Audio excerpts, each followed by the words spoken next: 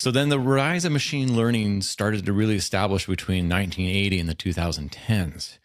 And hence, you know, why Terminator series was born, probably because of what was happening around in the real world. We're hearing about, you know, all these, um, you know, production plants using computers. The IBM 486, yes, that's what one of my first computers when I was a kid. Christmas Day, we opened up and we got an IBM 486 processor. Oh my goodness, what did it mean? This thing's jam packed with a megabyte of memory or whatever. It just, it's crazy how um, life came. And even kind of fast forwarding, there was um, kind of one of those uh, memes pictures going around the internet where it was this massive, huge computer. Like this thing was like a, a, the size of a sea can, and it was going into an airplane.